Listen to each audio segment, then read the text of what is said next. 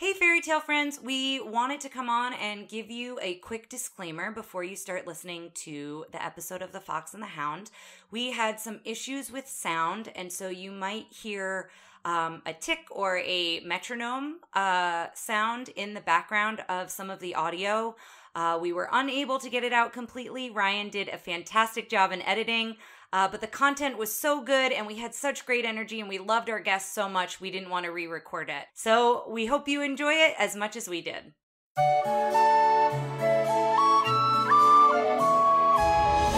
I'm Tara. I'm Ryan. We love Disney movies. So we decided to watch them all, from Snow White to Frozen 2 and beyond. Each episode we'll watch a different Walt Disney Animated Studios film and tell you all about it. Did we like it? Does it hold up? Who's our favorite hero? Or villain. We'll give you history and fun facts about each movie. And sometimes we'll invite our friends to watch along with us. So put on your tiara or your evil crown and join us on our adventure. This is Tara and Ryan's Princess Diaries. Well, hello, listeners. We are back, and we have a very special guest today, someone near and dear to my heart. We do. Uh, today we are doing 1981's The Fox and the Hound, and because of that, we have brought in uh, someone who is a dog lover and a fox herself. Please welcome our friend Gretchen. what a wonderful intro! That was so great. I thought of it so yesterday, true. and I, I, think I wrote it down somewhere. Oh my god, I love I'm a it. dummy. Anyway, hello, Gretchen. Thank you so much for joining us. Hi, thanks for having me. So, what we always ask uh, when people come on, and I realize I didn't prep you for this question, but it's not a hard one, so you're gonna be fine. Um, what what made you want to do this movie? What do you what what is your history with this movie? Why are you excited to to see it? I love this movie. I loved this movie when I was a kid, and I think partially because I've always loved dogs, and you know, dog is main character. And I was I was just talking about this earlier today. I actually like almost broke my arm when I was playing softball as a kid, and I was like in the ER and I was like, "Oh my gosh, I'm going to name one of my future children Todd because of this movie because I just love this movie so much." There's a there's a funny fact with the name Todd uh, here in a second, but do you want to go ahead and hit us with a synopsis and then we'll yeah, start well, throwing some facts? Do we want to talk about how we know Gretchen? Oh, I just again, I feel so comfortable with Gretchen. I'm just like, like assume everybody knows. Yeah. Yes. Gretchen and I met in college and we're uh, BFFs ever since. I honestly, Gretchen, can't like pinpoint the first time we met. Do you remember the first time we met? No, I like I don't, don't, remember like a specific thing. I just remember knowing you. I just feel but, like I knew you the whole time we were yeah, in school. But and you were you were transfer because you weren't mm-hmm. there when I was a freshman. Yeah. But Gretchen, yeah, Gretchen and I, um, we're both at the conservatory. We're both in music uh, programming mm, uh, at Shenandoah University. But uh, we've lived together in multiple locations and have uh, loved each other ever since. Basically. Gretchen was That's a bridesmaid at our wedding. Yes, yes, Gretchen was a bridesmaid at the wedding, and Gretchen, Gretchen actually spent I, the last night with Tara as an unmarried woman. I was just gonna say that. Yeah, when she I when spent she my last evening unmarried with Gretchen. When we had the the the bridal suite, but needed some, but we were staying apart, so I didn't see you before the wedding. Mm-hmm. And Gretchen was like, "Oh, I'll take it." we, like, we had like we're having such a fun time, and then we got that frantic call from you when you couldn't find your tie. That's a story That's for not another a story time. for the podcast, but yeah, it was a frantic night for you. But everything went swimmingly on yes, our wedding. There was no problems. Well. Um, so let's let's get a synopsis yeah, of, the, sure. of the movie. A little fox named Todd, and Todd with one D. I just feel like that's a little Mm-hmm. unusual spelling. But a little fox named Todd and Copper, a hound puppy, vow to be best buddies forever. But as Copper grows into a hunting dog, their unlikely friendship faces the ultimate test. And I should say it got a 70% on Rotten Tomatoes.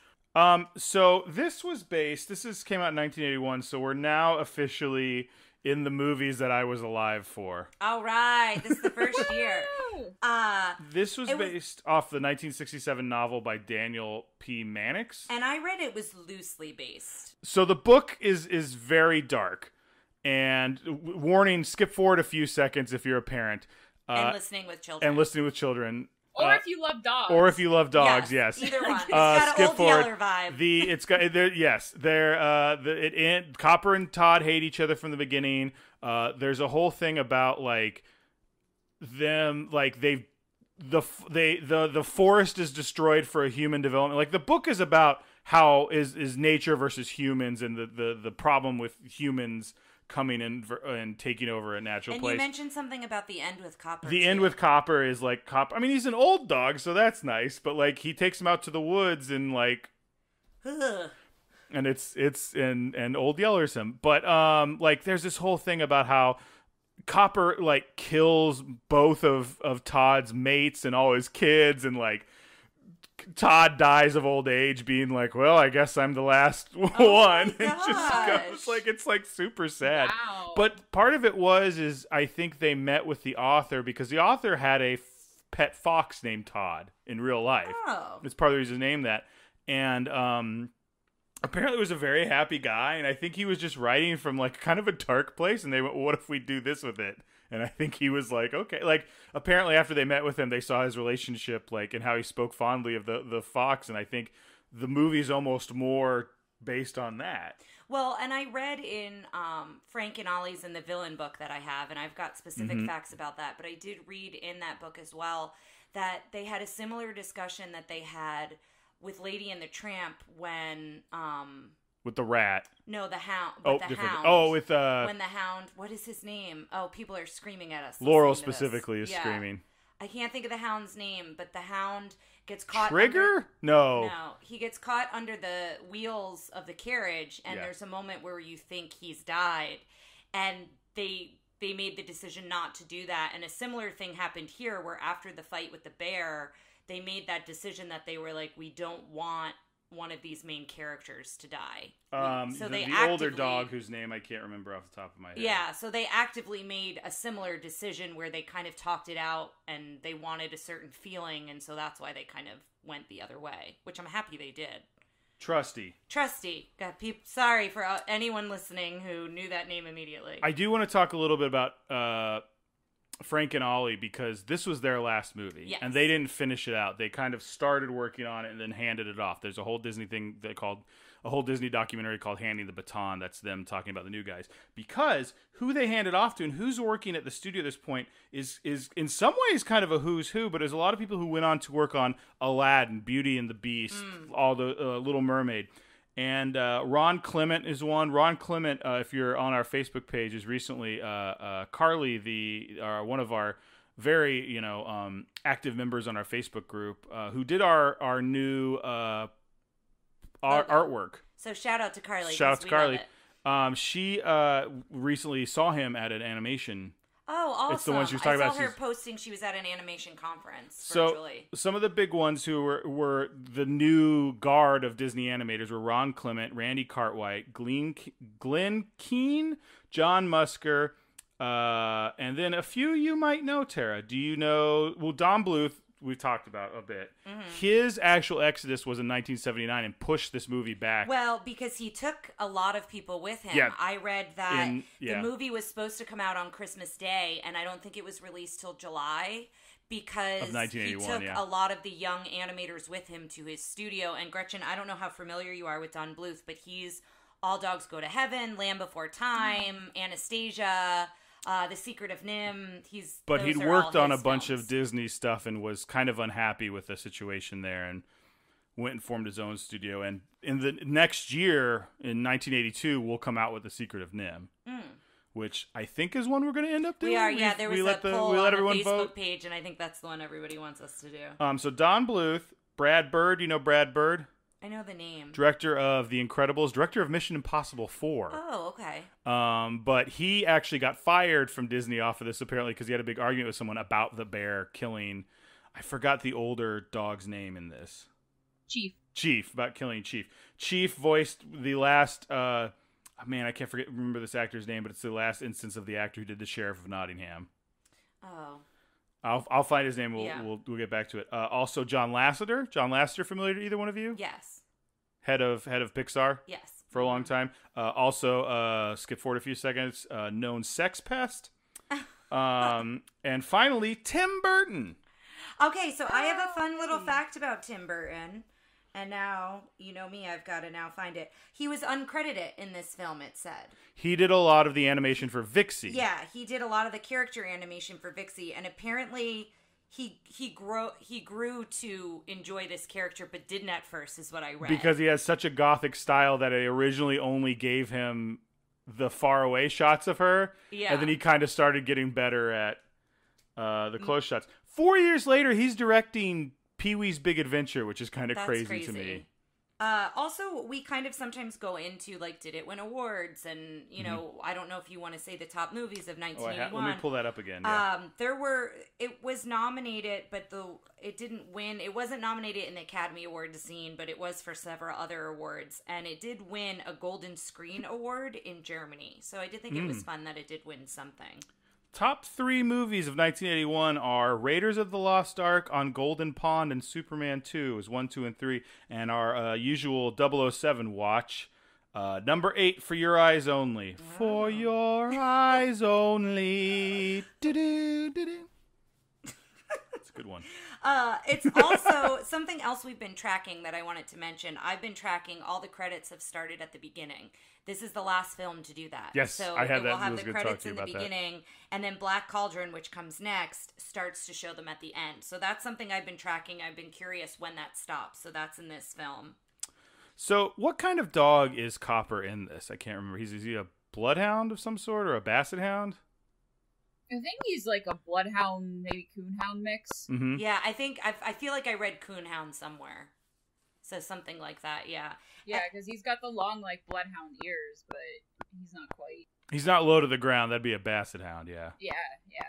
Well, and speaking of pets, did you know that Wolfie, our one of our favorite animators, he had his son's pet fox come in. Did you know that? Yeah, Did I think I did know that. And I just was like, why?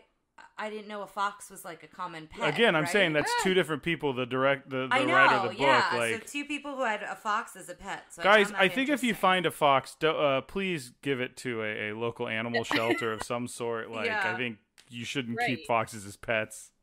Yeah, don't do that. Yeah, not not okay. Uh, something to listen out for. That we always like to do that if there are things uh, to look for or listen out for. But apparently, the bear snarl is the same as Shere Khan in the Jungle Book, and the same as Brutus and Nero, the crocodiles from the Rescuers.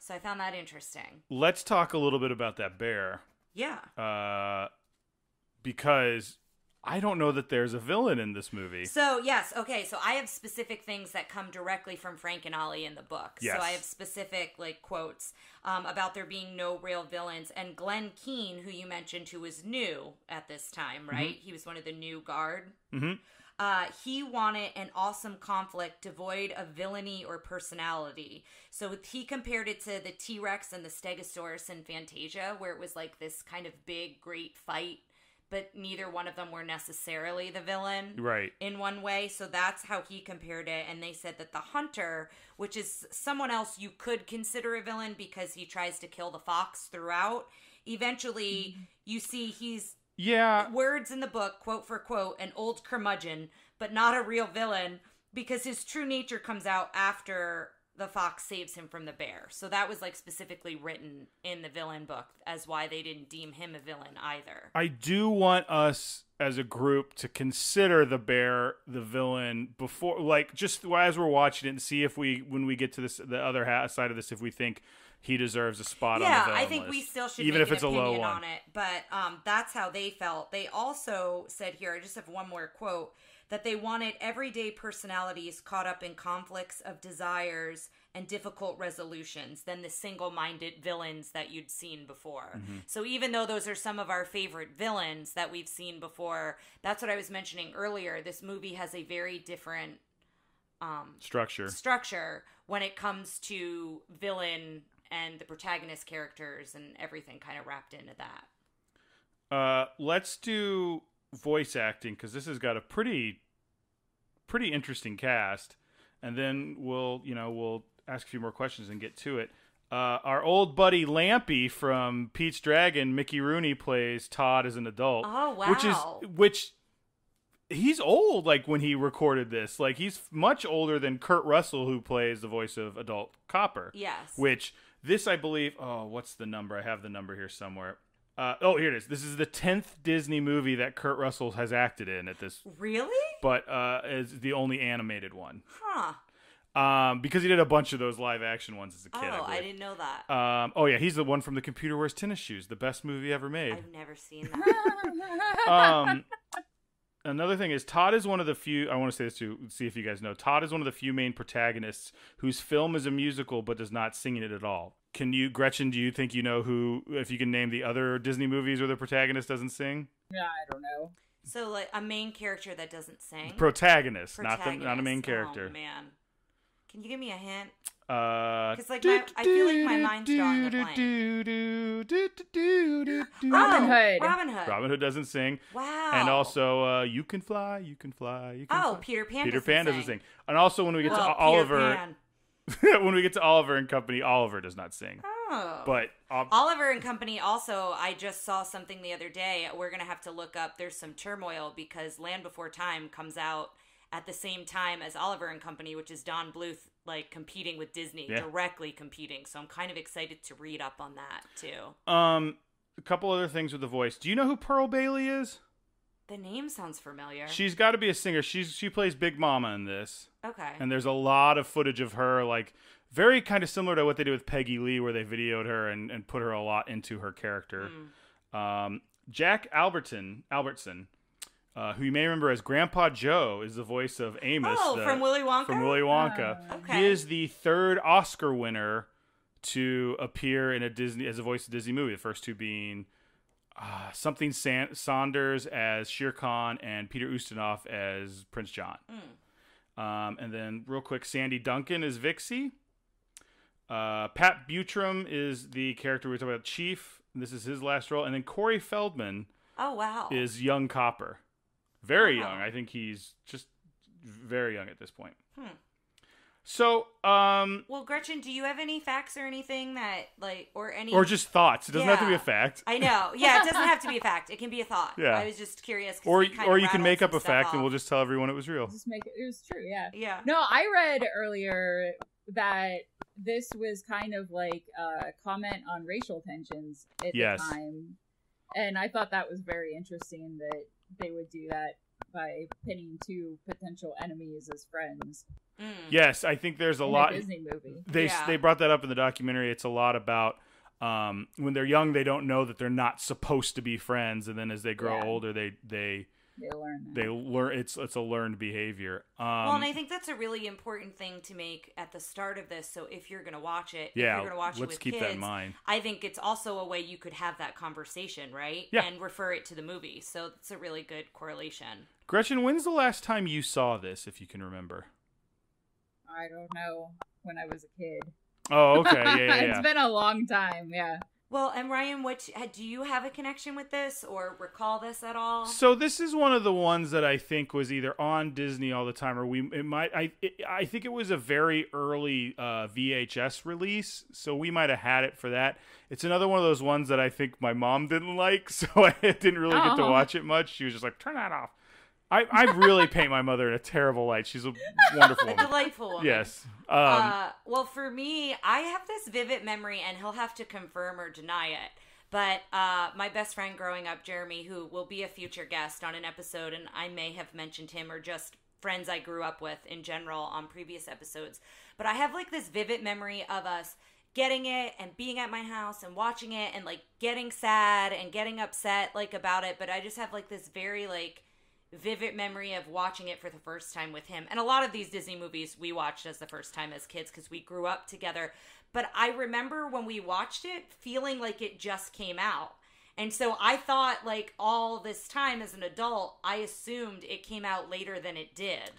Because I, when I watched it, I think I thought it came out then, right? Yeah. And it was probably a re release. Mhm. It was probably a re release when Yeah. it came out, came out of the vault or whatever. And I think I was young enough that I just assumed it was just like coming out for the first time. Um, I just I I don't remember this being fun. Like I think everything I remember about it is like, gosh, Copper, you're my best friend, and then like we're not friends anymore, and then a bear attacks. Like that's how I remember it. So I I'm trying to remember like the. I mean, those are some of the big like bullet points. I think I think you know, and that's kind of this. more to it. but that's the way I felt Yeah. about Bambi. Is I thought Bambi was just like sad and like making me feel bad about you know taking going out in the woods like you know like Which man is the bad guy, and then I thought I feel like this was a lot of that. And I don't. I I think there's a lot of emotional beats in this one, but I just don't remember it being super fun. Well, you guys ready to check this one out? Yeah, I think so. All right, let's uh, pull the uh,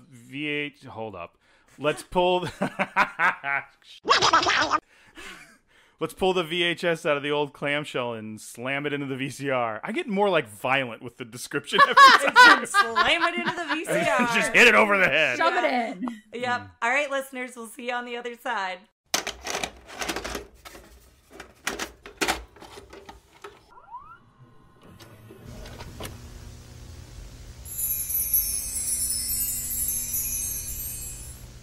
All right, listeners, and we are back.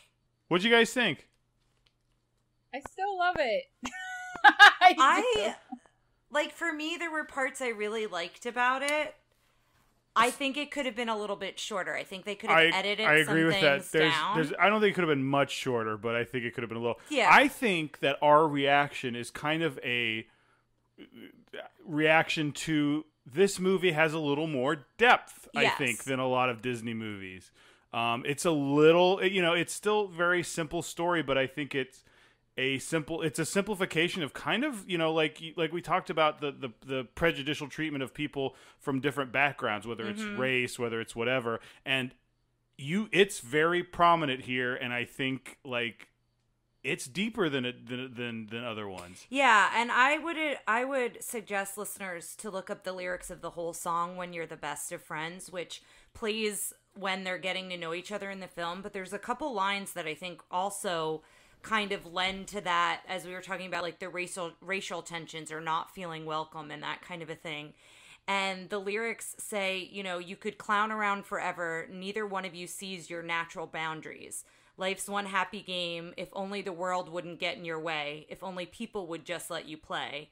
They'd say you're both being fools. You're breaking all the rules. They can't understand the magic of your wonderland when you're the best of friends. And those are the words that hit me the most. That's like in the middle of the song. But I think there's a lot of power to those words, even though it's kind of over a playful scene. gretchen you said you still like this one but there were definitely some parts during it that Oh, i we'll think some people had trouble them. too we'll get to that in a little bit but yeah But it's also, I think it's the same thing with Pete's Dragon. So um, by this point, oh listeners, this was infinitely no, no, no. But what I'm saying, what I'm saying is, there's also that nostalgia piece, right? This was not a bad movie by any means, but I think also like some of the love for a movie, you still have that with you watching it years later because it brings back certain memories, Yeah. right? Yeah. So, and I'm not trying to say like that's why you still love it. You can still love it as an adult for any reason. But I think like we had people coming onto the Facebook page saying how much they love Pete's Dragon. We were like, oh, you may want to skip our episode. Ah. but I think it's I think it's the same thing. Like if you have that nostalgia, I think that does affect. I think it affects our opinions too over the movies that we're connected to. I'm, and, and we'll get into the actual uh, plot here in a second. I'm shocked that I haven't heard more people talk about how they were traumatized by this movie. It, there are this- some scary parts This for sure. this came out at a time, you know, we're talking about like Secret of NIMH is is pretty dark. Uh, Last Unicorn. There's like these movies around this time that whereas was like animation they, there was a bunch of animated movies around this time that like Watership Down that had very like intense scenes that scared people, and I think the bear's scary. I think some of the the, the scenes are are very I also remember loving Last Unicorn and never being scared by that from oh, my memory. Last when when we're done with Disney movies, Last Unicorn's on my list of like we should check out some non Disney movies. Yeah. But like um, there's this very specific scene that is very like I've seen recently. I'm not like, oh, saying oh, this it's is scary. not scary. I'm just saying I don't have memories of it being scary as a child. Right. And this one, I did have a memory of being upset after watching it. Yeah, but that's what I'm there talking are about, a lot though. of very strong emotional points, I think, in this Yeah. film.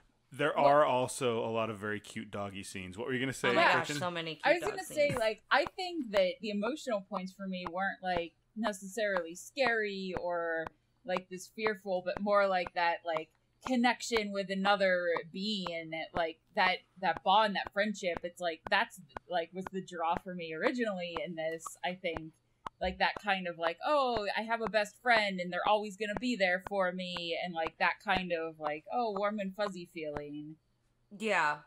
All right, listeners, we're going to dive in here. So, what we all found interesting was it starts out very quiet, almost to where you hear nothing. And so you can hear the sounds of nature, the sounds of the forest. Which is unsettling. Yeah, it hmm. is unsettling. And I wrote here, it's building tension. Like, that's essentially what they're doing because as the scene unfolds, you eventually starts you start to see the fox running and the dogs barking but this whole time this quiet and this stillness and it's the same thing in bambi when oh, it's the mother's reverse Bambi. yeah, it was reverse Bambi, but when the mother's like, when everything's very still, Mm-hmm. like it's not a good idea. And the same thing, Vixie says it to him later on in the film, like it's too quiet.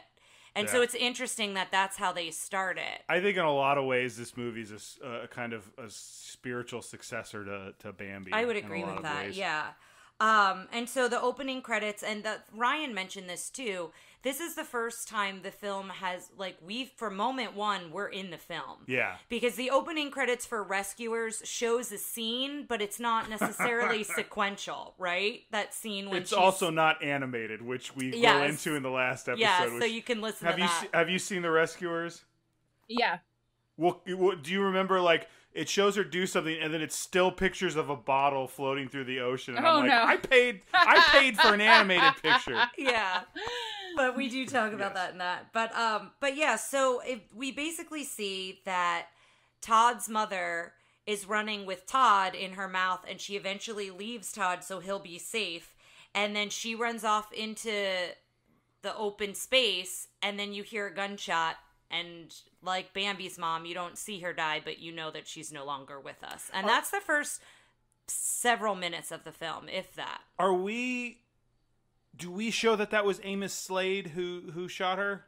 No, I don't think so, and I don't think we know that it's Chief. I don't think they show the dog. Yeah, ever. so I guess we just hear a dog barking. Well, I'm wondering if the implication because we talk later about like, oh man, is that his mom's? I pelt? mean, maybe it was Amos- a different hunter. I mean, that's Big Mama's tree, so I guess. I mean, it could Yeah. have been um, since they're neighbors.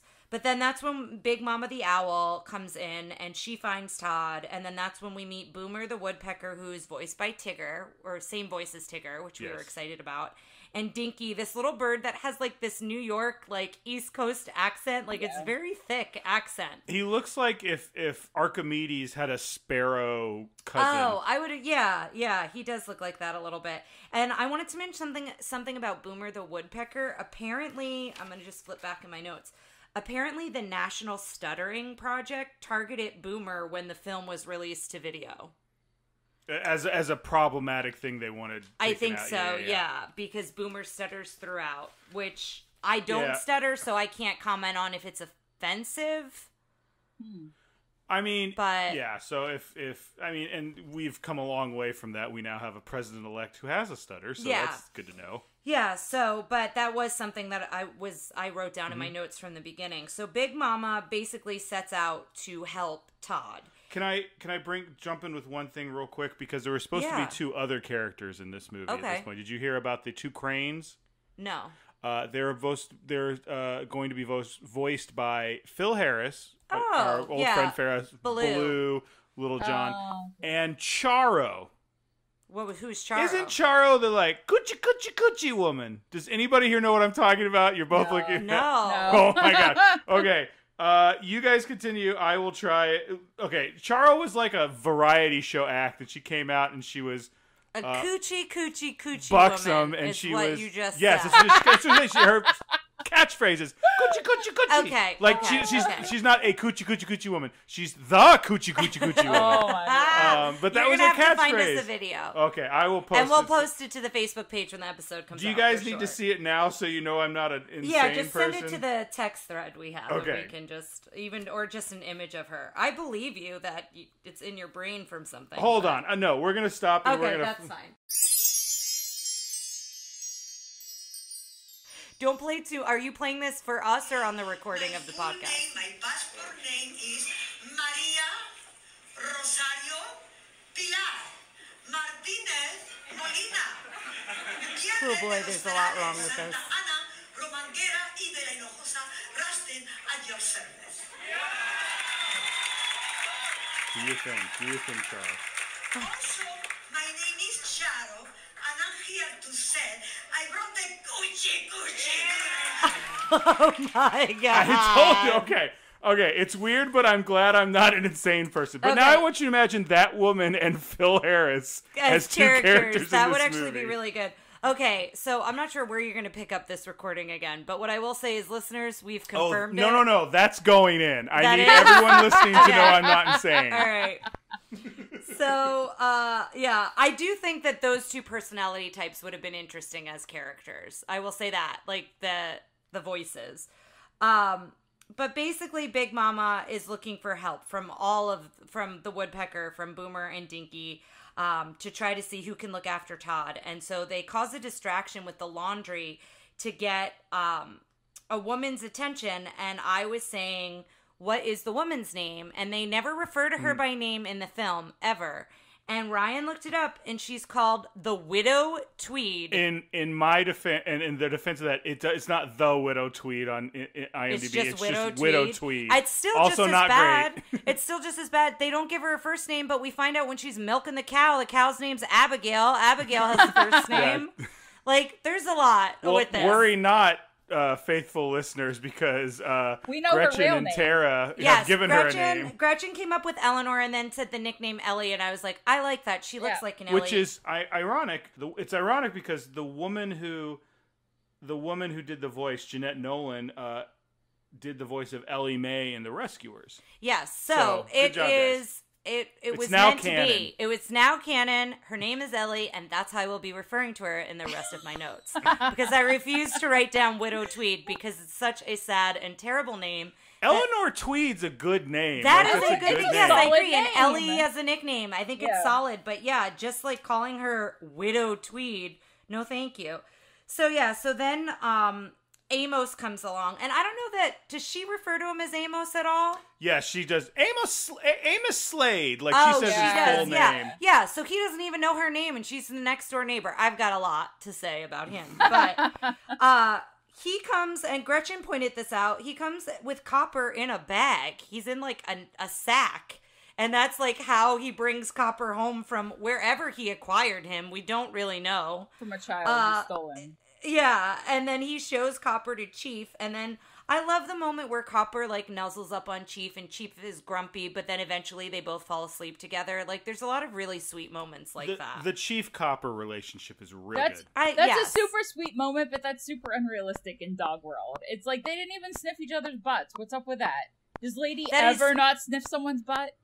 That's true. Lady does love to. Well, sniff a none of butt. these dogs have genitals, so we, I mean, I'm just saying, there's a lot Uh, going okay. on here. I do have a note that you wanted me to mention the read along books. You wanted to talk Oh, about that so for I a minute. I 'Cause recalled you- my memories of this because I have very like strong memories, but just of certain portions of this, and it's because I had one of those read along books, which I'm I'd love to hear if some of our listeners had those too, where you have the tape and it's like at the chime, turn the page, and yeah. it had people's actual had actual voice and, and sound. I remember from the movie, but like. I think that's why I don't remember big par- portions of this, but I remember like the beats where it's like we're friends and now we hate each other and there's a bear. Like that's why Yeah, that's no, the and that makes 'cause it- sense in a book had like that, 14 too. pages Yeah. with illustrations to convey Uh-huh. the plot. Yeah.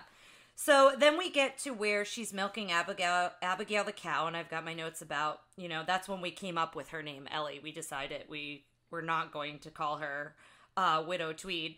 But then uh Todd is in the barn and is seeing the chickens and is just out of curiosity, but it's literal fox in the hen house. Like the chickens go Yeah. crazy, the cow goes crazy. Um everybody's like upset and then there's like this whole subplot throughout the film where we are trying we see Dinky and Boomer trying to get a caterpillar in the tree. And they keep referring to it as a worm and then eventually they refer to it as a caterpillar. But even when Big Mama gets them to help to uh get the to get Ellie to get Todd, I yeah, I almost said widow and I hate it myself for it. Uh but but um they're trying to get the caterpillar then. So from moment 1, like that's kind of their main goal in Yes. this film. So we see that throughout. And they had a real Joe Pesci, Daniel Stern vibe to me, uh, where one of them, especially, there's a point later one, where Boomer gets electrocuted and his hair looks like when in Home Alone 2. Daniel Stern's, yeah. And then Dinky, for some reason, has a New York accent. Yeah. Like, we got to get that worm. Yeah. but I like them, and I'd love to see a movie about them, like hunting cat. Like I, I'd be there for it. Well, we don't know, but there is a sequel to this movie. there is. Uh, Gretchen, have you seen the No, sequel? It I came out in haven't. 2006. no, I didn't. But yeah, I don't know anything about it. It looks like it. It may be like a midquel because it looks or like do you it's think it's their kids? Do you think maybe they both maybe, but it's definitely yeah. It's definitely like a young fox and hound. yeah on the cover. I saw that too. Yeah. Yeah. Um. So yeah. So then Todd chases a butterfly. This is when Todd first goes over to Amos's property, and it's because again he's being curious, chases this butterfly. Copper picks up on his scent, and I love this whole back and forth between him and Chief, where Chief's like, "Don't wander far," and he's like, "I can smell my way back." Like Copper's already so confident in his nose at such a young age, which I think is really sweet.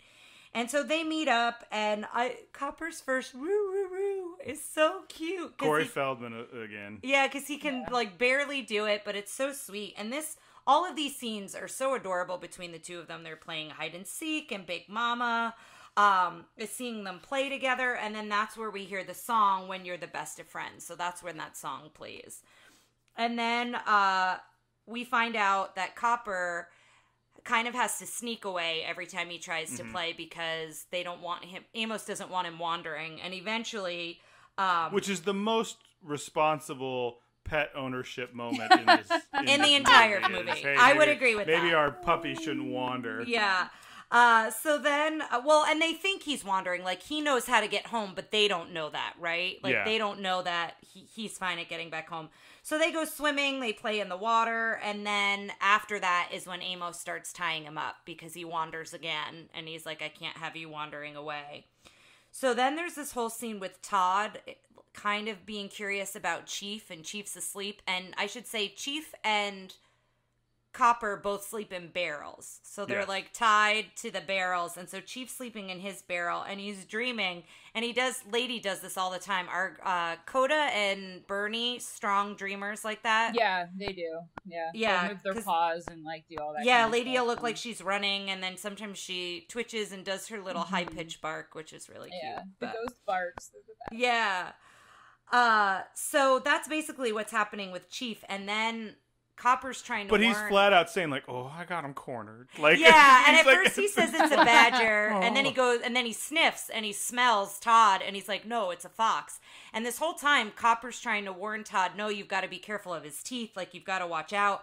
And Todd's pretty naive because he's growing up with Ellie, the sweetest lady in all the land, and so he's he's very much a, like a domesticated cat or dog, like because he has qualities of both.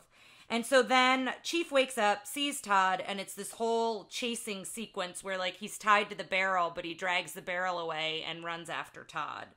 Um, and then this is where Amos first comes out with his gun to shoot at Todd. A lot of gunplay. lot of yeah. movie. So for parents, if that's something you're concerned about, there's a shotgun in Amos's hand pretty much for the majority of the film.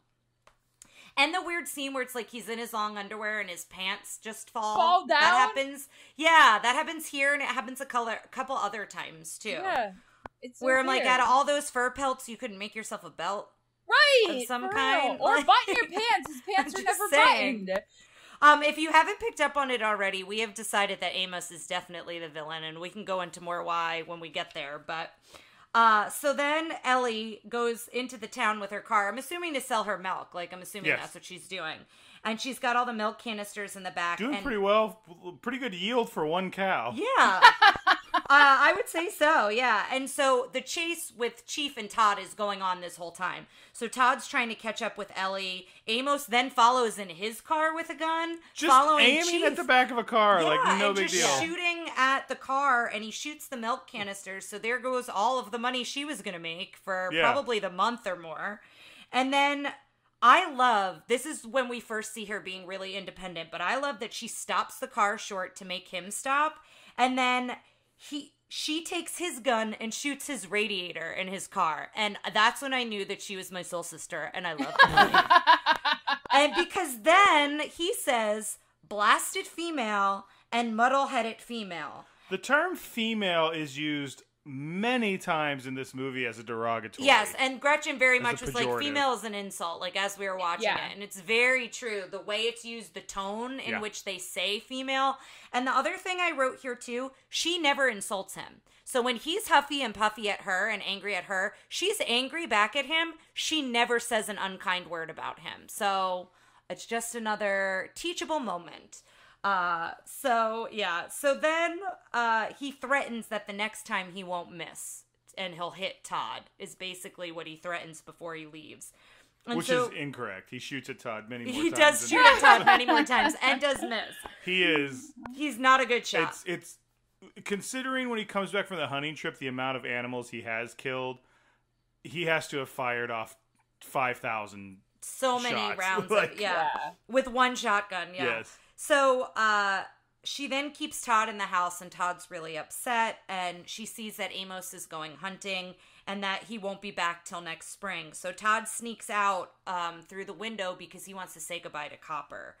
And this is when big mama starts i wrote schooling todd in education or elimination and kind of letting him know you know copper's going on this hunt. He's not going to come back as the same dog when he comes back. And so she sings this song um and sh- she says another phrase here in the song that I wrote down. You'll wind up hanging on the wall, which I thought was kind of an intense. Well, because they open but up then his they shed, open, yeah, they open up his shed, and that's what you guys said. Is is the mom? are they showing Copper his dead mother's? Copper, uh, uh, Todd, Todd. yeah. They're showing Todd his dead mother's skin. Yeah. which is, Yeah. which I know I took it there. I'm sorry, but uh, but training a hunting dog a real killer. So those are words that Big Mama uses. So then the movie shows fall and then into winter, and then we see the caterpillar shivering, and then Boomer and Dinky are cold, and then the caterpillar gets warmed by the fire, and it reminded me of Jiminy Cricket because Jiminy Cricket does a similar thing in the beginning of Pinocchio where it's cold outside and he goes in to get warm.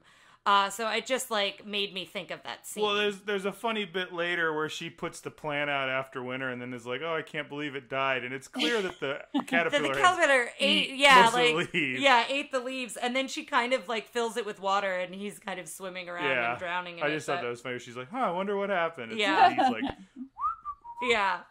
Uh, but then the the birds say they're gonna fly south for the winter. Big Mama stays put, but Boomer and Dinky leave. "Big Big Mama's got some padding. She's gonna be fine during the winter." Yeah, yeah. She's a she's a big big sexy owl. She also never sleeps either. Like she's one Yeah, Well, we right, were I- we were trying to decide that, and then I was curious if owls hibernate, which I don't know that they do. But I will do a quick She Google comes search. out of like her tree with all these leaves, and that made me think, do owls hibernate? But Ryan's gonna try to see what he can find. But then um, we go and we see Copper, so we see him still young in the snow on the hunt, and most, Cop- most owls hibernate. oh, winter. okay, all right. Well, then that did make sense the way they Oh, showed that. Okay, yeah. This, this article starts out hoot hoot.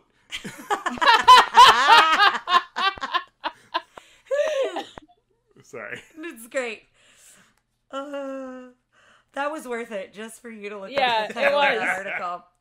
So then we see Copper trying to chase a rabbit and he slips on the ice and Chief's kind of rolling his eyes like Chief's feeling really big and when they leave to go on the hunt Chief's in the front seat and he says you have to earn it to be in the front seat. And Copper's happy to be in the back of the he doesn't really seem to mind but that comes into play a little bit later. But then we get back to the cabin and we see all those furs. So we that's the first time we see all the furs that amos has caught.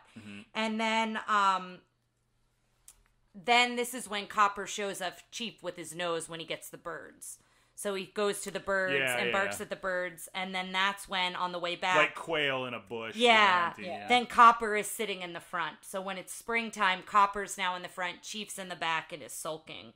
And so as we see spring, we then see Todd full grown as well. The birds are back, and we now see that Todd has a collar. So he's like 100% domesticated now. Has a collar, is like a dog or a cat. So then that's when we see Ellie putting the dead plant out, what we were referring to earlier.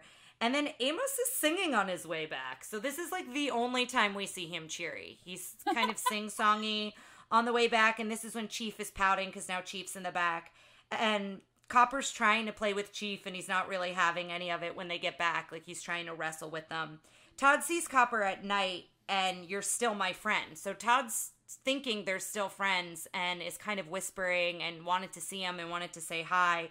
And Copper says, No, I'm a hunting dog. So Copper kind of at this point is like, We can't be friends because I hunt you. And so um, then this is where the night chase happens. Where is it Chief that wakes up?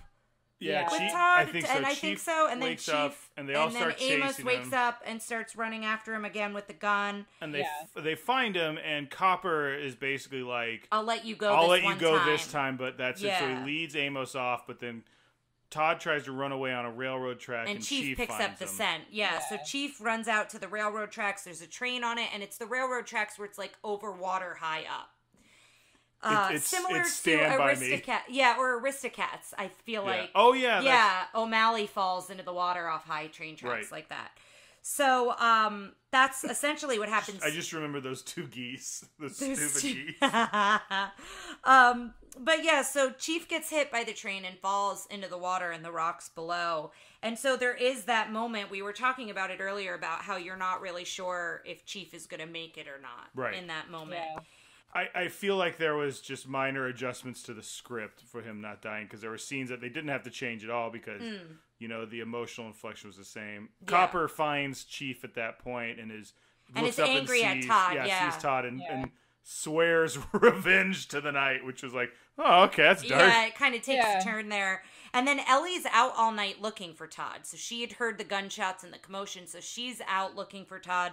She finds Todd. And then in the middle of the night, Amos comes stomping out of his house, angry. And again, we don't see Chief at this point, but he comes stomping out of the house, angry, and goes to Ellie's and confronts her. Tries to barge in, but I like that she closes the door. She locks the door. Um, She says you can't come barging onto my property in the middle of the night. yeah, and so I like again that she's being independent and she's like, "No, you cannot come in." Well, you made a good point that this felt very much like I had really hard time in 101 Dalmatians when Jasper and Horace break Barge in in with the nanny. with the nanny. Yeah. There's a home break in, and this this.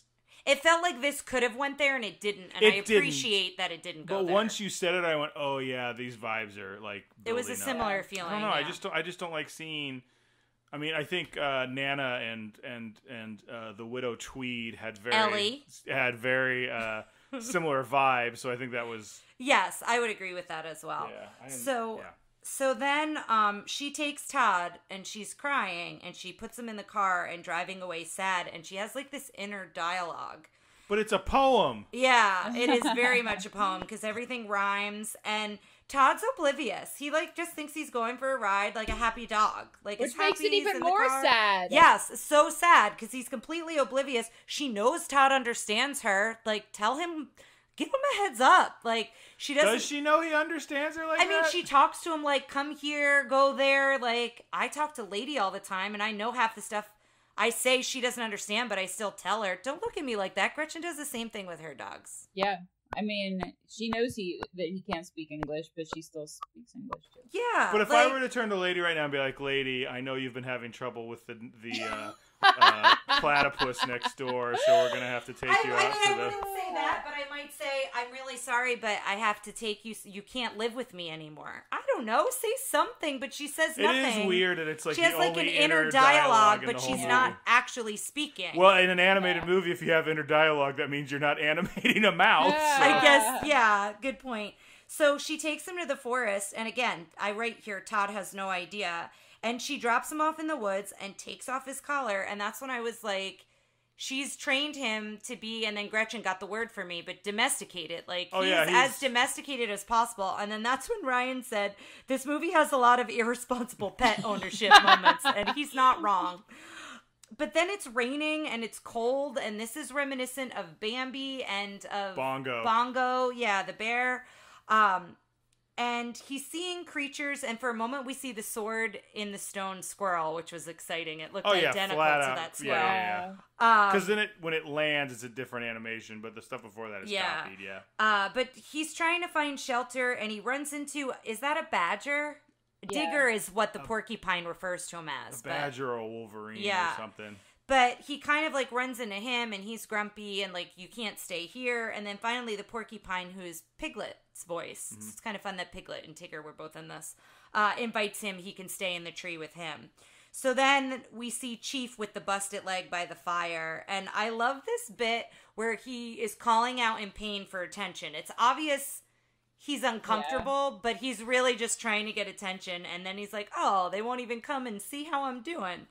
The uh, Badger was voiced by John McIntire, who also was Rufus the cat from sound- The Rescuers. Okay, his voice sounded familiar, but I wasn't able to pinpoint it. Um, so then this is when Amos shows Copper the trap, like the bear traps, the kind of metal closing traps, and that that's how they're gonna get Todd. And Big Mama at this point, Though, I'm sorry, those can't possibly be legal anymore, right? Oh, they're I would not. hope yeah, no, not. they're Okay. I was about to say they feel like an old Well, cartoon so uh, weapon, like too. Well, it just feels antiquated. Like it, it- like there's no such thing as those bombs that are just round bombs with a fuse. yeah, but like I think some a trap like these existed. No, Yeah. I know they existed. I've seen them before. But what I'm saying is, it's like whereas those bombs that are round existed, just not before a certain time period. I see. What, I see. It's just you're so- saying. the only yeah. person who I feel like uses them are like Boris and Natasha and Wiley Coyote. Yeah, Like, yeah. So he shows them the trap. Big Mama starts looking for Todd, and she finds Vixie first. And so she starts talking about Todd, and then realizes that she could be like a matchmaker. And Yeah, it's kind of like- a funny realization that she makes in the middle of The, talking to the animation there is really cool because she's Yeah. like, I have to find Todd. He's a fox about your age. Like, and he's He's like, handsome. Yeah. Yeah. Uh, and then this, and then Digger being grumpy again. So uh, Todd falls out of the tree, is very startled and kind of like unsure where he's at. Falls into Digger's hole essentially, and says, "Why don't you go back where you came from?" Which was a really harsh comment in that moment. Yeah, which I also- also think could play into what we were talking about exactly. earlier with Yeah. racial tension. Right.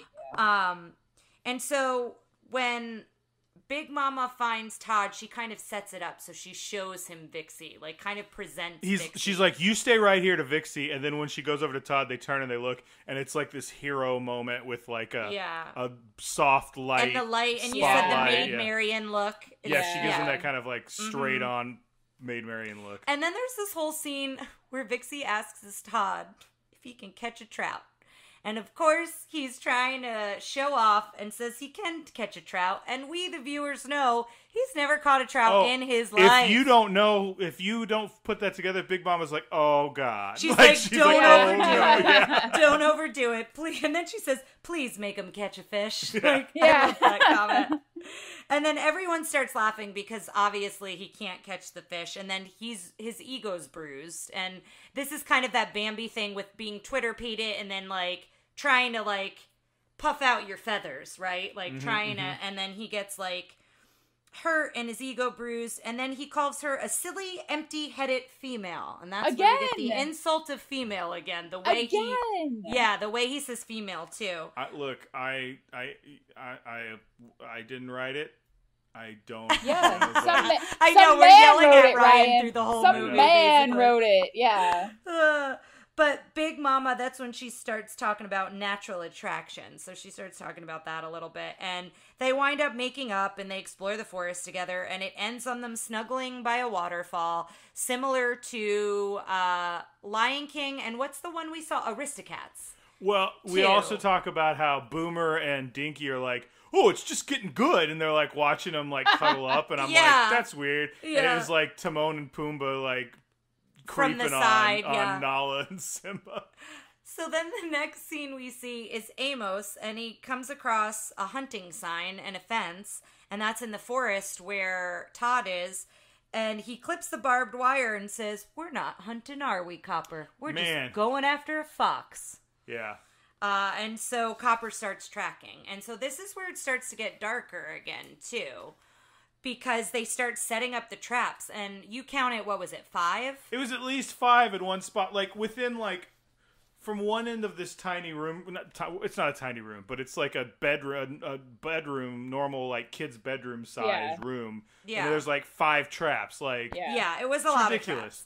So you know what I could have done was actually give an actual measurement like a human being, which is universal instead of trying to like vaguely. like a kid's bedroom, a normal What sized bedroom. room. what a dingbat! All right. Uh, but But wait, So can, all we, the can we traps- just say that this is like another.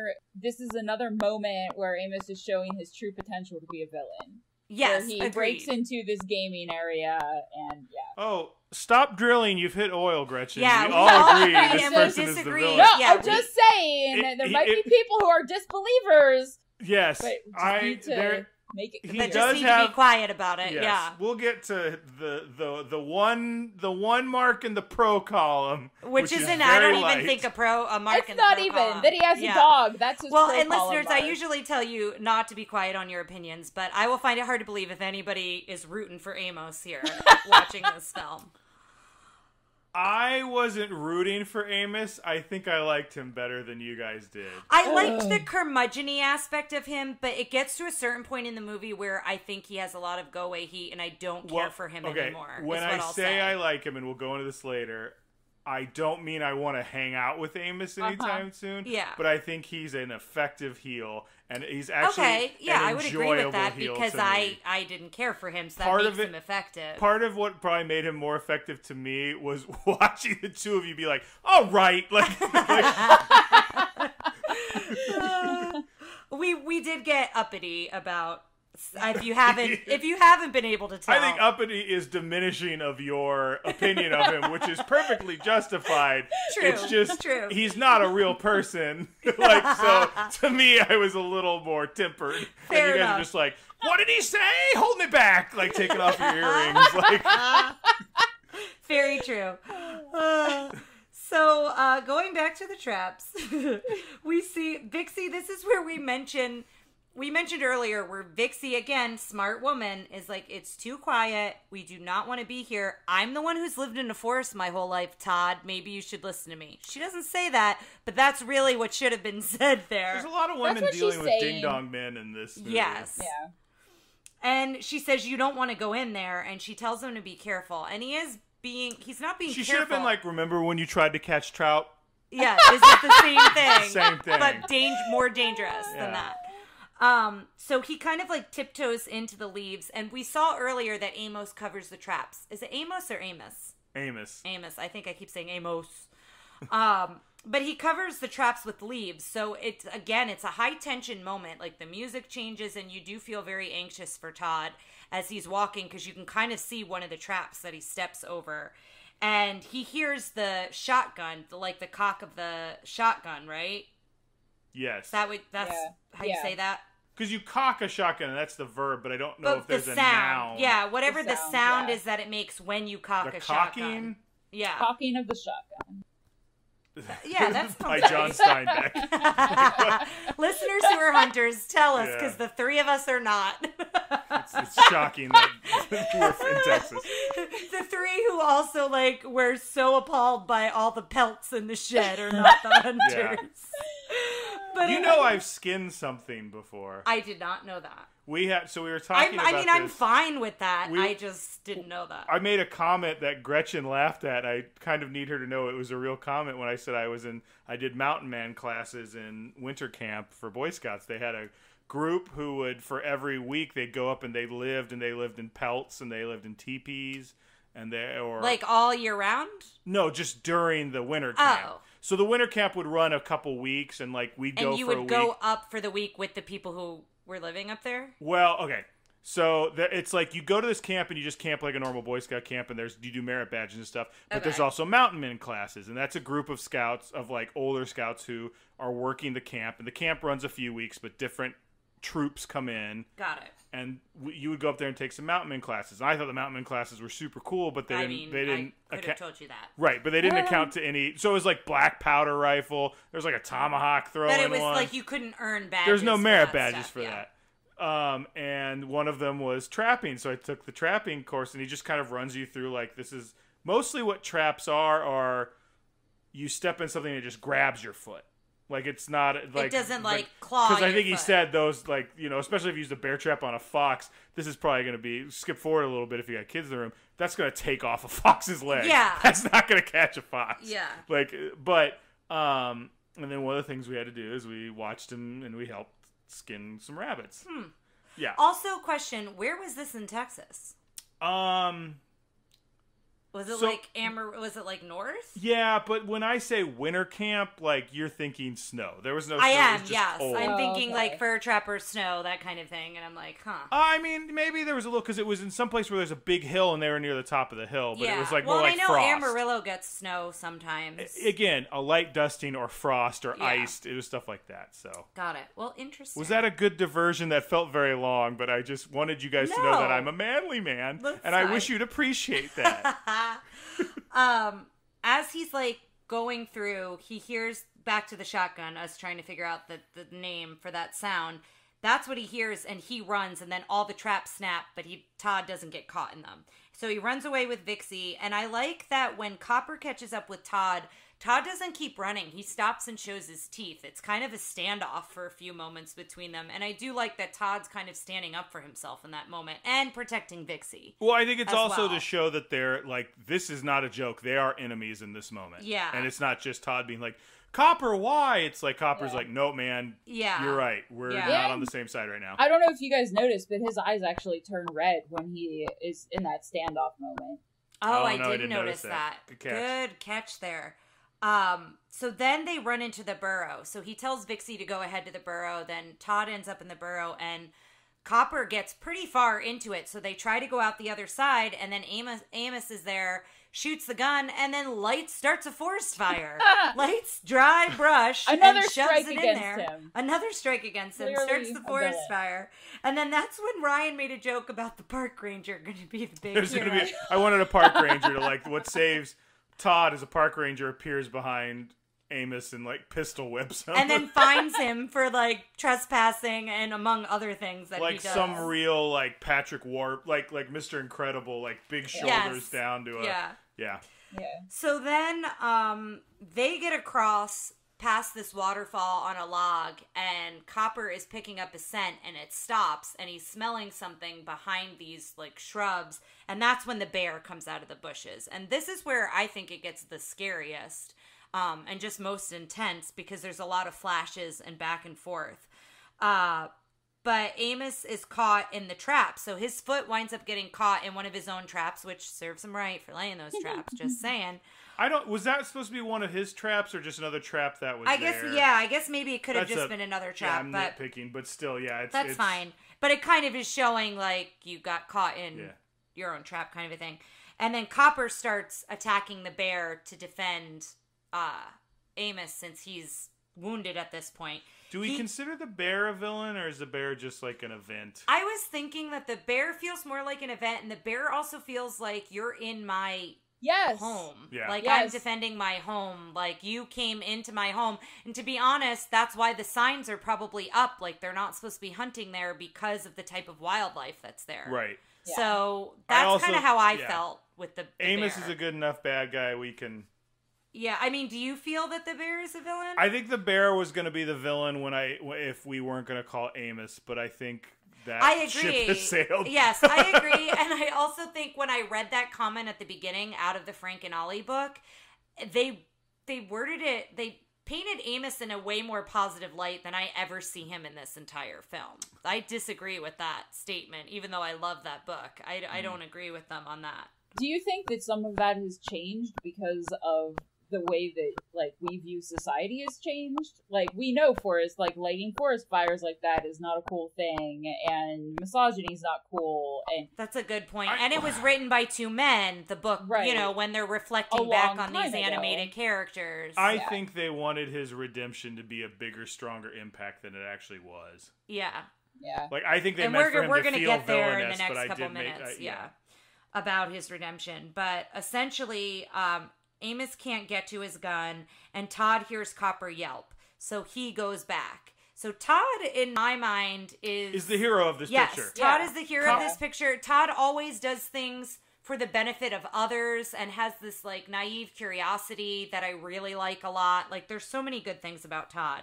And he goes back when he really doesn't have to and he goes after the bear and he attacks the bear and he knocks around um, and kind of spins the bear around, and then he gets out on that log again over the waterfall. And then the bear comes out and swats the log in half. Like the bear becomes the dumbest bear. Yeah, and then I they have both no sympathy for that bear. Yeah, and then they both fall into the water. Again, if the bear was considered a villain, it's another villain falling from a high height. Yes. We have a lot of that so far, but um they both fall in the water and then Todd survives and is pretty wounded and just pretty much just like out of breath and like He's he's defeated Yeah, yeah, yeah. um, in the water, and Copper comes after him. And Copper, I think, was checking on him, and then Amos shows up, and then I wrote redemption question mark question mark, and then I wrote like a slash through it, like no, that doesn't happen because Copper winds up standing in the way. Amos gets his gun and is going to shoot Todd. Copper stands in the way, and Copper's the one who changes Amos's mind about shooting Todd. But there's nothing in the film that tells me that Amos feels Todd saved them from the bear. Amos killed eight more animals that next week. No question. And he was shooting at squirrels from his porch with his broken leg. Yes. There's no question. also, also, there's nothing that shows me that he thinks Todd saved his life. Because I think he just he didn't wanna shoot Copper, he he's like, "I wanna- give up." Yeah, and he's in Yeah. pain with his leg, and he's like, "Let's just go home." If anything, Copper was redeemed in that moment. Yes, Yeah, I would agree with that. I would 100% agree with that. That Copper redeems himself there because at the end, when they look at each other, they do smile. Yeah. There's yeah. a there's a, a, a Which I appreciate. I think they're both reminiscing about. I think they realize like we can't be friends any we can't be together anymore, but Yeah. we'll always have our memories because that's at the end of the movie. It's Copper thinking about them when they were kids. Yeah, and I think also Copper being thankful that Todd did come to his rescue. And- Yeah. And, then Todd getting that acknowledgement, like, you see me, I was here for you, like, I stood up for you in that moment. And I think there's something to be said about that Yeah. um, as well. And so they both go their separate ways. And then we go back to Big Mama in the tree, and Boomer and Dingy? Dinky Dinky. Dinky. because he's little. Thank you.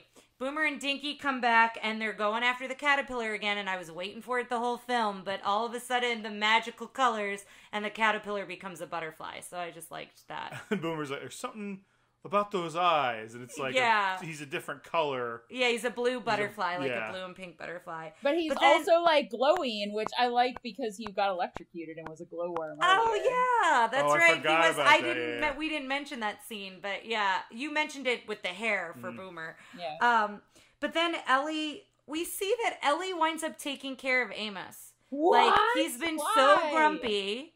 Because I think what Oh. they're trying to say is it's important for every woman to take care of a man. And Yeah. and if you and she's lost one, which means she is without purpose. the so worst. really, what Amos is doing here is giving her, her a purpose, in life, in and she should be thankful Yeah. for. the absolute worst. He can't even call her by her actual name, which we never find out what it is. It's It's, the worst. It's Ellie, yes. Yeah, it is Ellie. I would have like died if at the end he said thanks, Ellie. You guys, it would have been like lost my mind. like like rap air horns would have gone off. You guys would have been standing Fireworks. up like we were like, we were like, you're redeemed, Amos. You're redeemed. Uh, but we do we see Chief and Copper at the end, and they fall asleep, and they're you know in their barrels, their routine, and then we see both Vixie and Todd looking out over them at the end, Yep. like from afar, and that's the end of the film. It says the end, and it it goes goes to black basically. And we never know if they have six pups or not. We don't know. She Did we does, mention that that she said No, she we wanted didn't. We six didn't mention that, but yeah, she does say she thinks six would be enough. When I think it's the quail. It's like some sort of bird uh, Yeah. with little baby birds goes by them. I was gonna say I read before we uh, got on here that that was actually a nod to Robin Hood, because in Robin Hood she says that. Marian says that. Oh, that's right. They're like Oh. they're counting. He's he's saying how many babies they should have, and she's like Yeah. six. Oh, Oh, that's so fun. all right. So we we have questions we tend to ask, um, and we'll go through them right now. Uh, so first question is, with this being Tara and Ryan's Princess Diaries, how is the princess? We don't have a princess in this case, so I'm going to go with Todd and uh, Copper as the princess as the protagonist of the movie. Yeah, I would think so. I w- thought I was gonna like Copper a lot, and Copper has some adorable moments as a kid. They don't really do much with him as when he's Kurt Russell. They don't like give him like a beautiful don't mullet. Yeah, and they don't. or, de- uh, they don't like that. develop. I feel like they don't develop his character as much as they do Todd's. I feel like Yeah. Todd has much more personality, and Copper, and maybe that was purposeful. Copper kind of becomes less of a personality when he's an adult because he's now just groomed to hunt. So I don't know if they meant to do that intentionally, but I feel like I distance myself from Copper more as he grows up, also because I feel for Todd, I think is part of it too. Well, yeah, and I think they like masculinize him a little bit too. He's like this hard, like Yeah. I can't have mm-hmm. a friend. It can't be emotional. Yeah. Like They're very the opposite of toxic toxic masculinity when they're kids. Like the way they play is so like So lovingly. with abandon and just like I, like it- I mean and and this is probably my toxic masculinity coming to me. It almost felt like almost romantic in a way. I could see how you could read it as a man- Yeah. romantic, and I, I could don't see think it how the- was. it wasn't, and I could see how the story could. You could rewrite the story, and it could go that way, but Yeah, well, yeah, I talked about how I this this has a Brokeback Mountain Yeah. feel to me, where it's like, but we used to be together, Copper. We can't do that anymore. I'm not like that. Yeah. But like- I also feel it, it shows that genuine love. It's like when Yes. you're kids, you don't know you don't know any different, and you don't know that it's wrong, and you don't see anything it's wrong. it's with not it. wrong. Let's Yeah. go out of the way. And No, say I'm it's sorry. Not I'm wrong. not. I'm not saying it is wrong, but I'm saying from their point of view, like they're being kids. Yes, Like, I they- think I think well beyond just like hey we should hang out together and they don't know that they're not that they're not supposed to be together because of Fox and Hound. I think it's it's love. It's just completely just untethered love Yes. for somebody and something Yeah. you see as a kid between boys and, and that sort of thing. And it's something that I think toxic masculinity stomps out of you at a certain age. yeah, Yeah. I think you say that's not how boys interact, and it's like, well, why not? I think what you're seeing here, which is interesting, is it's a it's it's not like a a, a man a, a a woman and a man friend or two women friends where you have uh like for lack of a better term feminine energy. This is a completely masculine friendship of masculine non-romantic love, but they're expressing it in a way that I don't think that type of thing Was expressed in that way. to this day, I think we're just starting Yeah. to see stories about that. I, I've I've been a big proponent of it. Like there's this is one thing. It's funny. So a lot of people, do you know what shipping is? No. So it's when you say people are in a relationship in fiction that they aren't.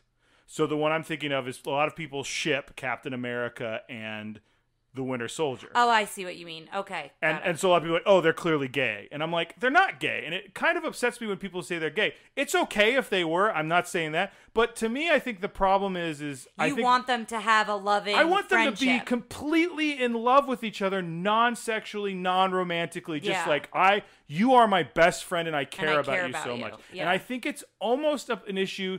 The the idea of like those two men love each other, like oh they must be gay. That's a form of toxic masculinity to me. That's othering that relationship they have. and assuming because when someone because, says that, they're and not. assuming because of the way they're acting towards one another has to be put in a box. Yes, but it's also Yeah. I think when those people say that, those aren't. And no one goes, "Oh, they're gay."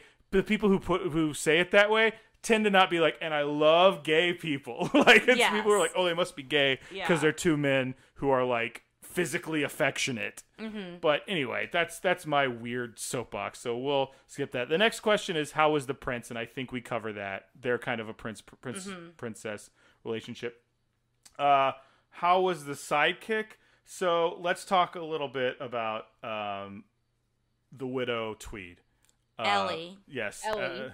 uh, um, and how much you guys loved her, which She was fantastic. I think we talked a little bit about how you were upset, like with how she was treated.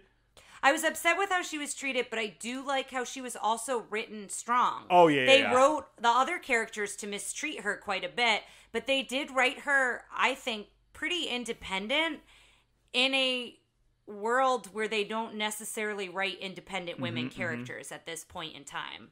So I did appreciate that, and I did appreciate a lot about her. I just also was standing up for her. I feel like, But I did want to make sure that we just talked about like how good she was because she Yes. was good, not just like this woman was treated poorly. She's fantastic. yeah, Um, Mama, Big Mama. I liked Big Mama.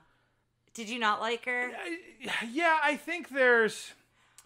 We talk about racial. Um, I was gonna bring this up, but I didn't know how to bring it up because I don't know how to put a word with it. But I- it's I don't similar to either. Dumbo, right? It's not nearly not as bad Dumbo, as Dumbo, but but it's like the crows. it's like Bagger Vance. She's not magical, but it is like I'm the I'm gonna watch this whole thing and and just talk about it and be kind of the one who sets things up. And there's it feels a little tropey to do that to the only uh, actor of color. yes. So I don't know if someone on the Facebook page has a better like grasp of that thought, or if I'm or if I'm just full of. Let me I know. li- I liked her character, but I will say I had moments where I was flashing back to our conversation in Dumbo. Again, not saying that it is similar to the crows because the crows go further with Yes. that, but I had that moment a couple times with Yeah. her. But I would say overall, we needed kind of that narrator, that person that connects all the characters together. And so for the storyline, I think she was important. yes. Yeah. Um, Dinky and. I liked Boomer. them.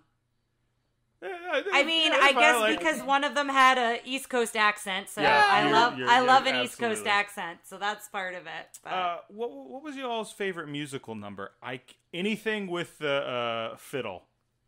There was some good fiddle. I like the song when we're the best of friends. When I listen to the lyrics, it's heavier than I initially remember it. But as soon as that melody came on, I could hum the whole melody, and it was one of mm. those Yeah. songs where I forgot I knew it as well as I did. Gretchen, Yeah. did you, did you same one? Yeah, I remember crying to that song when I was a kid and just being oh, like, Oh, "Oh, this great. is so warm fuzzies." Yeah, and that is like, I think that's the most full joy, warm fuzzies part of the film is that scene for sure. That's when they're playing and loving on each other and Mm-hmm. everything we were talking about earlier. Um, does it hold up? So let's talk about those things. Uh, drinking, smoking. I don't think there was any. The There only, was none of that. the only smoke was the. Uh, the fu- the fire forest he fire started. he started, and you made a joke that he would probably leave cigarette butts in Yeah. the forest, but we Yeah, never see him probably. smoke. Yeah. But he would if he did. I'm shocked that character didn't smoke cigarettes. um, guns and firearms. Shotgun all them, day, all, all the long, time. yeah, all day, all night. ethnic representation like i think it was uh, so this is something we haven't really talked about we probably should is while they didn't have like getting away with not having we're now in the 80s getting away with not having racial it's never cool but getting away with not having racial stereotypes doesn't make you like you did it thumbs up. There's also i think we need to talk about ethnic underrepresentation Yeah, which is something that has happened a lot in Yeah. these movies um, and and I'd really like for someone if they can help me kind of help us kind of verbalize that our thoughts on Big Mama. That'd be great. I thought she was she it was Yeah. a good acting job. I like the character, but there there something feels a little fishy. I don't know if that's the word I'm looking for, but something something feels a little It feels a off little there, off, and I want to make sure that I'm Yeah. not like this And is a I great think- thing, and it's like this is a trope we should Yeah. be moving away from. And I think Amos was more a curmud- curmudgeon than he was hillbilly because I think you can fall into that trope too, right? Where it's like you just that's paint not an ethnicity. You No. defend hillbillies so much on this show. I'm not. The reason why is because I read something specific about Appalachian music and about how Ah, yeah, people yeah, yeah, right. people who have created that type of music. There's a lot of stereotypes behind those people that live in those areas. That's not true about them, but they're Yeah. portrayed very negatively. I realize it's not an ethnicity, but I think it's still a trope, and it's still a stereotype that I think is important to mention. And I know that's me mentioning it's. I guess quote unquote. It, I, I think it's more than a white stereotype because there were people of color living in those areas playing that music as well that were also stereotyped in that way, even though it's predominantly a more white culture. But I just like to bring that up because I, for me, that's something I never thought about till I started reading that. That like hillbilly is kind of a trope, and like I think people dismiss it a lot. And I don't know. I just think uh, maybe. Maybe it's because I just read about it that it was interesting to me to think about. Maybe it's because you married someone from a from a far-reaching white trash No, family. no, it more has to do Oh. with the side of the Appalachian music and, Yeah. and thinking more about bluegrass and stuff like that. Where do you think this took place? Because this didn't feel like Appalachia to me. It felt more No. like the Rockies or like mo- like Wyoming, like man, like kind of north, like because it got cold and it snowed. Well, I feel like it could also be, I mean, West Virginia. Yeah. Hmm, okay, okay. I was more thinking like a West Virginia that's not area. that's Appalachia. Uh, That might be Appalachia. Yeah, I, I don't remember if uh, did the Appalachian mountains mountains go through West Virginia. I'm so glad that we're having this Appalachia talk with Gretchen on, so we can Yeah. sing uh, Take What's- Me Home, Country Roads. Take Me Home Country Roads. The only like Rocky Top? Oh, Rocky Top. Yeah, that's Yeah. Tennessee though. Um, but Yeah, it no, doesn't do snow the enough in Tennessee. Do the do you know Gretchen if the Appalachian Mountains go through West Virginia?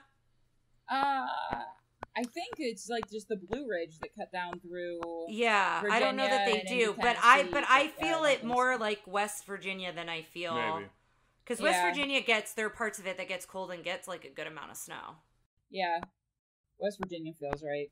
The other thing we need to talk about is is uh, female character agency, which I, th- in in my opinion, and let let me as the man go 1st Mhm. Um, sorry, I'm the biggest. Let me of roll crap. out the red carpet for you. Jeez. um, I think her agency was good, but the general attitude, and I oh, know the general he was attitude the heel. of women, yes, Yeah, yeah, I, it was I know not he was great. the heel, but it's it's like you can't do certain things. It's more creative to find good ways to well, make someone even a heel. Todd, when Todd insults Vixie, he uses Yes, female so it's in a derogatory that, kind yeah. of negative Yeah. way. It's weird that that happens so much in this movie where uh, the widow t- Tweed was Ellie. so was so. I like good. how you're. I like how you're like the hill you're willing to die on is to call. I'm an by her real originalist, and I believe this is the intention of the of Frank and Ollie on their way to out. the girl in um the Oh, horse we give? the the headless horseman. Right? Oh, what was her name? Margaret, was that her? The- was that the, her? The one in the green the dress? woman who didn't. No one wanted to dance with her. Yeah, I we think gave was her a name, and you referred to her by her name. Why won't you refer to Ellie by her one true name, Ellie Eleanor Tweed? Let's move on. Um, uh, Gretchen, are you familiar with our uh, villain ranking system? No. Okay, listeners, we're going to explain this whole system to Gretchen, and we will be right back. Listeners, we are back. I have explained the infallible scientific villain ranking to Gretchen, and we are ready to get going. So, Amos Slade, we have decided, is the bad guy in this. Um, I think you'd have a harder time arguing he wasn't the bad guy, but that's fine. Uh, let's start with frightening. Uh, Gretchen, what do you think? Or let's start with. We'll do a few first, so you can kind of get an idea how we rank things. But Tara, what do you what do you think?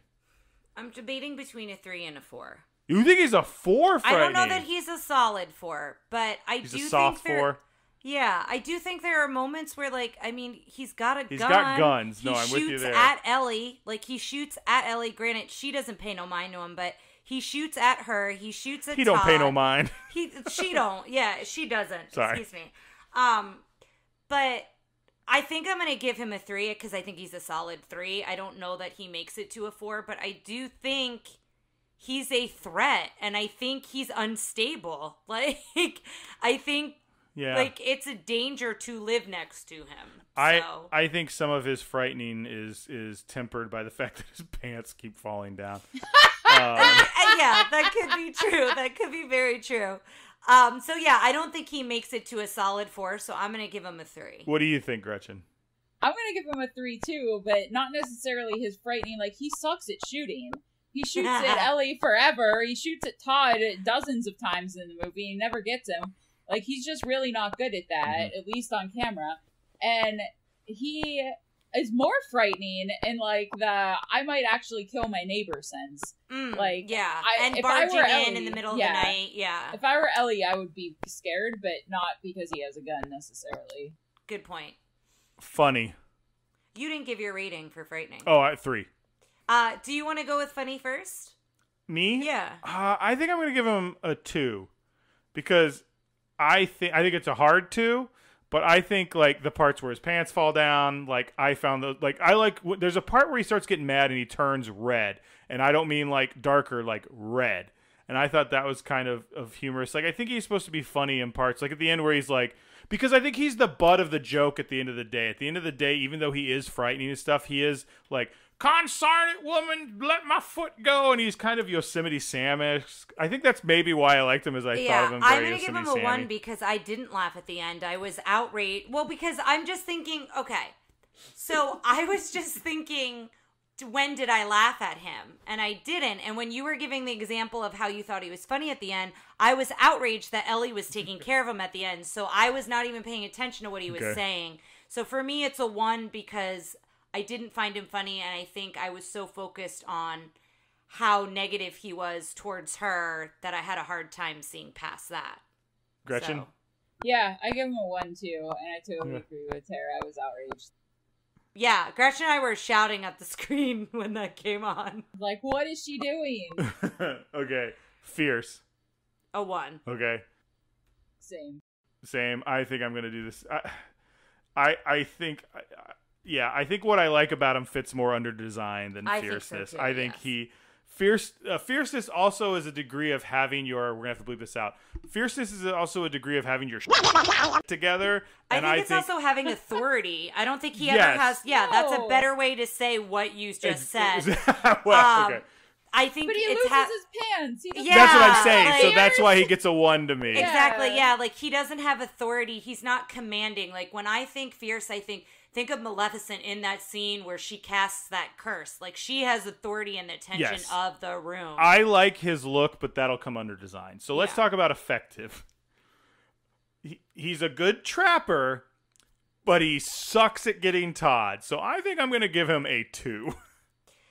yeah, I think I'm gonna give him a two because we see all those pelts and furs, but we never actually see him get any of those. He just That could be all them. copper and right chief, yes. yeah so i'm gonna give him a two because because even at the end of the day i was gonna say he trained copper but really chief trains copper Yeah.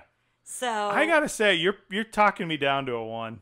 Yeah, I give him a one because he's not effective. Like his whole goal of this entire movie is to get Todd, and he sucks, and he doesn't do it over Yeah. and over and over I- again. yeah. i'm And gonna give him a one I, He- I getting think I getting pelts is trapped not part of his evil plan. Yeah. So Yeah. say that again, Gretchen. and i think i was trying to give you uh Don't do that. no, Don't I give think I was trying anything. to. What I'm saying is, I think I was trying to give you support for a two, and then I think I also talked myself to a one as I was listening Yeah. to what I was saying. That's what I wanted to say. Is I feel like I talked myself into what it should be. Okay, design. Gretchen, do you want to go first in design? That's his look. That's yeah, I think he he fits his character well. Like probably. I mean, well, I mean, like, look, does he You- like you- like it's don't you give visual design? first, then, Okay, I'm gonna give him a four. like. Okay. because I love hillbillies, like you said. I think he he looks. He's got. I love his hat. I love. I want to know what hat that is. I've never seen a hat like that in real life that looks good, where it like just flips up in the front. Mm. He's got a mustache. I think he's our first must. You know, he's got a mustache. No, that's not villain. true. Is that But- he's our no? He's not our first mustache. That can't be true. The opera guy. Yeah, exactly who I was thinking Yeah. of. But this is the kind of mustache I like. This is thick. A full Oh, so good. Tom Selleck Um, type of a mustache. Oh yeah, this is exactly. and he also has the jacket that looks like the Bane jacket from Dark Knight Rises. Like it's hmm. big shoulders. Like I love it. I, I like his look. It's right up my alley. I can understand if you don't agree because I'm probably looking for something more specific out of this character than maybe you, fi- you either of you find enjoyable. Hmm. But I give him a four. I was gonna give him a three. I I think he, you know, he's a good hillbilly. They did a good job. I like those elements you mentioned. I don't love him nearly as much as you do, so it makes me feel like I should give him a two. Because you're significantly more in love with this character than I am. I I I he's you a- really like his design. I will Yeah. say, I think if he didn't say female like he did, we would have liked him a lot better. Yeah. Well, no, he also does a lot of bad conservationist stuff. I don't know. yeah, I I like Yeah, a good gonna- bad guy. I'm gonna give him a two Okay. on design. Because He also had a strong jaw. You know how I feel about jaws. Yeah. No, I agree with your points, but for me, I just don't feel that way. So That's fine. give him a That's two. absolutely fine. Um, I'm gonna go ahead and mark you both down for five for go away heat. yes. Yeah. Is that true? Get Yeah. out. Get It's a hundred percent true. And the thing is, is I think I said it earlier. Is in the beginning, I could take him a little bit. Like I didn't like how he treated the dogs in the beginning. He tied them up, kept them outside, and like was was kind of curmudgeony. But curmudgeony was a good descriptor of him in the beginning. But then he gets to a point where I don't want to see him on screen. I don't care for how he's behaving. I think uh, for me, it was the last straw when he started the fire. I think, which is towards the end of the movie. But when he started you the made it pretty fire. Yeah, I did make it pretty far. I mean, and I'm not saying I loved him up until that point, but I think I was okay that he was a part of the film, right? Like, no, but when he came home with copper in a bag, that was that's it. true. Yeah, like, for Gretchen, Gretchen here." was Gretchen was out from like ten minutes into the film. Get He hasn't even spoken before you Yeah, see that he's in.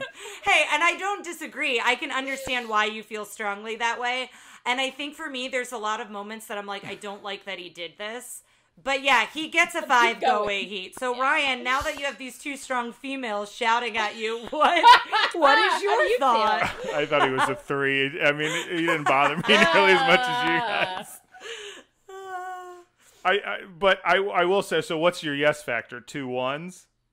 Oh, yeah, I wasn't excited Yeah, to ever no. see him a one. Okay, I'm gonna give him a two, simply because I wanted him on screen because I could hear you two yell at him. so he's gonna get a two for that reason. Um, Oh, and I take it back with the fire. The minute I lost is when he barges into her house. That did Oh, actually. yeah. I really was uncomfortable with that. That's where I feel like he crossed a line. I mean, he crosses Yeah. lines throughout it, but okay. so what's his number? Uh, give me a sec. So he's a little higher than you think. He, oh, oh. Where so he here's the deal. Here's the deal. We now have so Lumpjaw's in this group, but I think part of it is just because of where he is. But we he has now become a part of the. F- oh no, Mr. Winkie's 14, but he is in a tie with the with another one of the highest go away heat characters we have, and that is Donald Duck's libido from the Three Caballeros. Uh, I will say I felt I felt similar feelings of like not wanting Donald's libido on the screen as I did So- for him, so that makes sense. It is now a four-way tie for 26th. Out of how many so far? Uh, out of 35. okay. Wow. So it's a four-way tie between Stromboli, uh, Lumpjaw from Fun and Fancy Free, and Donald Duck's libido with Amos Slade from The Fox and the Hound. and Stromboli is Pinocchio for Yes. yeah. Does this get a clamshell special edition on your shelf, or are we gonna lock it away in the vault? No, I still have the VHS of this at my house, my parents' house. I won't let them get rid of this one. So yeah. Tara seems conflicted. I'm conflicted because Which I, means it should go in the vault, but she doesn't no, want to no, put no, anything in the vault you're- I think other than be- Peter Pan and Pete's Dragon. I think you're gonna be surprised. Yeah, we didn't say Pete's Dragon, but Pete's Dragon is in the vault. like, there's no getting around that. Um, I'm conflicted because I do think I like the theme of the friendship, and I do think there's a lot. I'm not a parent. I do think there's a lot that you could talk about in this film that you could approach subjects in a not as heavy way. I do think there's a scary and a lot of intense stuff in this film for sure, but I do think it would bring about a lot of conversations. Do I think it's worth it that you have your kids watch it for that? I don't know because I don't have kids. I would love to hear from parents because I do think there's a lot of good lessons in this. Even the way that females are treated, I think it's an example to be like, that's not how you talk to. Like, it's good examples of like, you Because- shouldn't allow someone to talk to you that way. right, because I think that's a good uh, thing for kids to go, look how much better she is than, sh- than he gives her credit for. Yeah. And he's obviously the bad guy. Yeah, and I think Yeah. I think also from that point of view too, saying, look, she she stood up for herself in that moment, and that's what you need to do if somebody talks to you that way. You need to stand up for yourself. And So- shoot the radiator. Yes. so yes, don't let them get away with it. Awesome. Um, but no, I so you know what I mean, and I do. It, it's hard because it's almost two movies in one way. Like that beginning with the warm and fuzzies and the friendship, and I think the things that are nostalgic for Gretchen. Like I think there's a lot of like sweet moments there, and then I think there's a lot in the second half that can be talked about to bring about other conversations, right? Mm-hmm. So that's kind of why I'm conflicted. Yeah, you can't put this on and just walk away from your kids with this one. I would Absolutely. agree with that. I yeah. think you need to watch it with older kids too. Not old, not like Not- 17. Yeah, but not Like- like, not three and four years old. Like like yeah, I think we're talking like 10. Yeah, like maybe eight, even nine, a little older, depending on. Yeah, Yeah, yeah, yeah. Again, Yeah. you know your kids. Yeah, but- you, you but yeah. it's not something you just put on. I also I, I will say going into this, I'll be honest, I was a little nervous that I was gonna like I, I thought I was gonna not like it. Um, because I like I said, I don't remember didn't remember much from it. Um, I I don't know if I'd watch it again anytime soon, but I'm glad I watched it, and I think it goes up on the shelf for me. yeah, and I think that's that's why for me, I was conflicted. Not saying I wanted it in the vault, but I think it's more than just do I like it or not as to why it should be on the shelf. If that makes sense, because Mm-hmm. I think there's more. I think as we said earlier, there's more depth to it. Um, well, Gretchen, thank you so much for doing this with us. Um, we ask our uh, our guests to, if they want to plug something at the end. It can be a personal project. It can be something you've enjoyed recently that's not associated with you. It can just be peace on earth and goodwill towards men, or or, or whatever you want. It can be absolutely anything. Um, anything you'd like to plug? Yeah, wear a mask and stay home. Yes, Gretchen. Yes. And Well- if you're in the Spokane area and need a dog sitter or Get a hold of us and we'll, dog we'll advice, connect get you. a hold of us and we'll connect you with Random. Gretchen because she's an expert. But yeah, thank you so much for doing this. We really appreciate it. yeah, thanks for having me. It was a lot of fun. Um, and guys, next uh, next week or next full episode, we will be doing, and I'm very excited uh, to force Tara to watch this. Tron. I've never seen it, so it's going to be an adventure. yep, should be good. Thanks, guys. All right, thanks, Gretchen. Thanks for listening to Tara and Ryan's Princess Diaries. If you want to tell us your favorite Disney villain and why it's Gaston, send us an email at trprincessdiaries at gmail.com. Or you can send a tweet about how great Maleficent is to at TRP Diaries. Check out our Facebook group by searching for Tara and Ryan's Princess Diaries. Tara and Ryan's Princess Diaries are available on iTunes, Stitcher, Spotify, Overcast, and many more. Wherever you hear us, please be our knight in shining armor and give us a five star review. Thanks again, and until next time, remember to always live happily ever after.